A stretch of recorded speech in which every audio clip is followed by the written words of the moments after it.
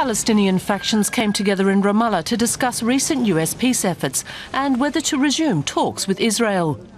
The leaders say they're willing to return to the negotiating table.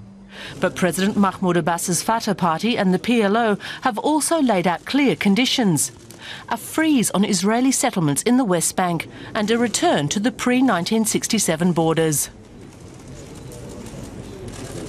US Secretary of State John Kerry has spent months trying to kickstart the peace talks, which have been stalled since 2008. His latest proposal has won the backing of the powerful Arab League. Kerry is appealing to Israel to seize the moment. Israel needs to look hard at uh, this initiative, which promises Israel peace with 22 Arab nations and 35 Muslim nations. Israeli officials say they won't accept the Palestinian preconditions, but they're still open to talks. This day, tomorrow, another day are very crucial. It's touch and go. And I believe that the supreme effort the Secretary made bear some fruits on both sides.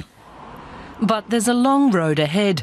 Earlier this week, the European Union announced it would ban funding to Israeli settlements in the occupied territories. Israel is urging the EU to delay that decision, warning it could damage the peace process.